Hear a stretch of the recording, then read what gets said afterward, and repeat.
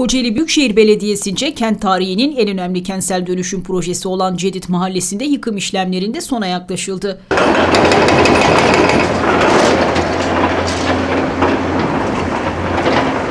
%98 anlaşma oranına sahip kentsel dönüşüm projesinde 421 binanın yıkımı gerçekleştirilirken hafriyat kaldırma işlemlerine başlandı.